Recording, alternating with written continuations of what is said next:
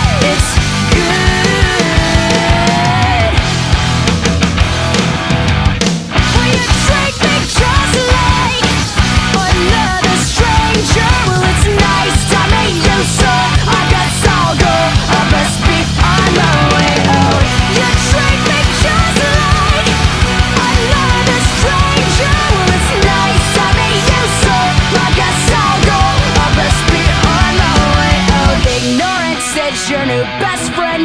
Ignorance is your new best friend. And this is the best thing that could have happened Any longer now